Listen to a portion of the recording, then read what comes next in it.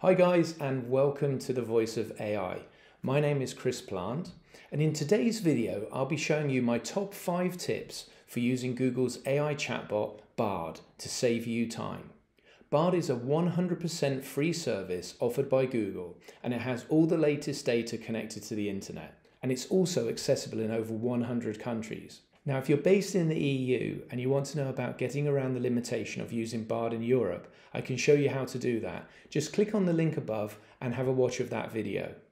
For a while now, I haven't used the regular Google search. Well, because NLP, natural language processing chatbots, are way, way better. And as Bard is a much better version of Google search, you'll see why. Soon it's going to be even better with Google's new generative AI supercharged search engine also.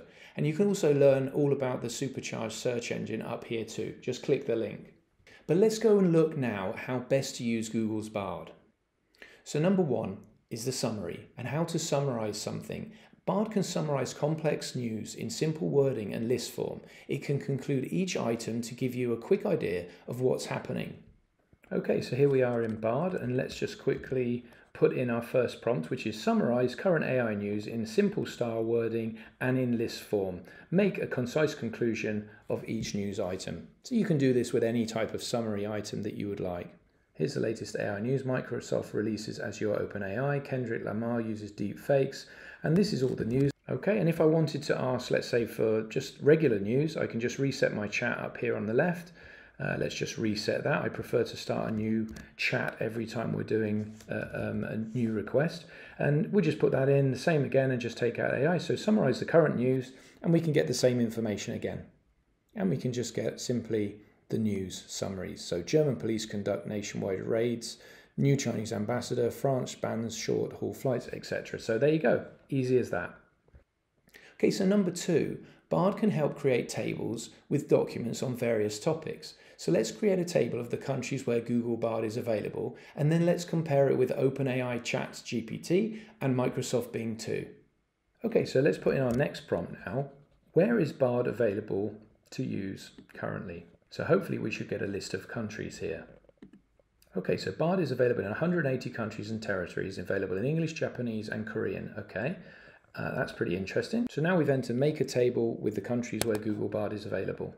Okay, so now we have the table. Let's put in the next prompt, which will be use this table with the countries where Google Bard is available and compare OpenAI, ChatGPT, and Microsoft Bing. Here we go. Okay, so here's our chart comparing the three OpenAI, Microsoft Bing, Google Bard. It shows us the availability in the countries, the languages it's available in, capabilities, strengths, and weaknesses. So that's pretty good. So that shows you how to make a table with reference information. Number three, of course, Google has always been great at tourist recommendations, and Bard is no exception. It's excellent for listing tourist attractions, restaurants, and other activities to do in a city. So, in this piece, we're going to ask Bard to see if we can get a list of places in a city and recommend five restaurants nearby.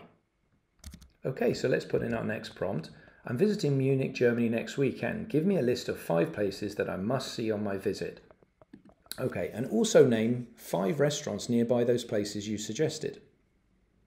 Okay, so here we go. We've got our report now. Five places that you must see. Marienplatz, Residenz, Hofbrauhaus, the Englischer Garten or English Garden, Nymphenburger Palace, and that's great. And then look, the great thing is it's given me my five restaurants as well. So Augustiner Keller, which is located near Marienplatz, which is the first one. And then we've got the Schloss Schlosswirtschaft Nymphenburg, so that's pretty cool. And you can see all of the different restaurants that it's just given us. And I hope you enjoy your visit. And that's cool. And now I'm going to take it one step further because I'm going to say, okay, make me a two day planner from Saturday and Sunday, give it to me in table format, and propose the arrival times. Let's have a look what it does. So for our possible two-day weekend itinerary in Munich, we're going to start off on Saturday and visit Marienplatz, and then we're going to go to the Residenz afterwards, and then we're going to have lunch at the Augustiner Keller. Then we're going to visit the Hofbrauhaus. It looks like there's going to be quite a bit of drinking that afternoon. And then we're going to take a walk in the English Garden. And then in the evening, we're going to go to the Paulaner am Nockherberg to have our evening meal. Oh, and it looks like we're going to go to a concert or a show at the Deutsches Theater. Then on Sunday, we're going to go to Nymphenburger Palace. Then we're going to have lunch at the Schlosswirtschaft Nymphenburg. And then we're going to visit the BMW Museum and see the Olympic Park and then have dinner at the Almeister. Well, sounds like a pretty great weekend to me. And what about providing interpretation of data using statistics? Well, chatbots make it much easier for us to understand complex data by creating tables and graphs. So let's ask Bard to give us an example. Okay, so I've reset my chat and let's put in our prompt. Give a list of car production in Europe by country per capita. Okay, so let's see what it comes up with. So for instance, Slovakia is the top, so production per 1,000 people, 185, 185 cars. Czech Republic 176. Okay, sounds pretty interesting. Okay, so now let's make it a little bit uh, little bit bigger. The search will add the US, the UK, and China.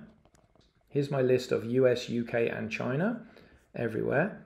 Slovakia still has the highest car production per capita in the world, followed by Czech Republic. Okay, so now let's have a look at the global statistics. Off we go. Okay, and you can see China is way out there on top uh, followed by Japan, the United States, and then in Europe, Germany is the highest. Okay, and then what you can simply do is you could add more. So show the graph again uh, with Europe as a group. And you can see here that here is the whole of uh, Europe and the production in millions. So here you can see how you can provide the interpretation of data using these statistics. Okay, and point number five on my top five tips brainstorming new ideas. Bard is great at this. It can use current events and rumours to help you brainstorm or come up with new ideas. So let's ask Bard to investigate rumours surrounding new AI products on the market and give us some ideas for blog posts on those topics. Okay, so now we're looking at brainstorming some new ideas. Look at the news and events and investigate rumours of new AI products on the market and give me some ideas for a blog post on those topics. Okay, this is really good for brainstorming and getting some good ideas of what to talk about. So let's have a look. So straight away, we've got some great ideas. The future of AI in marketing, the AI revolution in healthcare, AI in the workplace. So this is pretty cool. And then of course I can go and Google that further, or I can just copy out what I want to do, or even make a table. And there we go, I've got my ideas for the next days. So those were my five top tips of how to get the best out of Bard. Thanks ever so much for watching the video and if you haven't already please like and subscribe to the channel for more AI related content and tips and join me on the journey to unlock the potential of AI. If you've got any questions or any feedback please leave them in the comment section below. I'd love to hear from you and I'll see you all next time. All the very best. I'm Chris from the Voice of AI cheers and bye bye now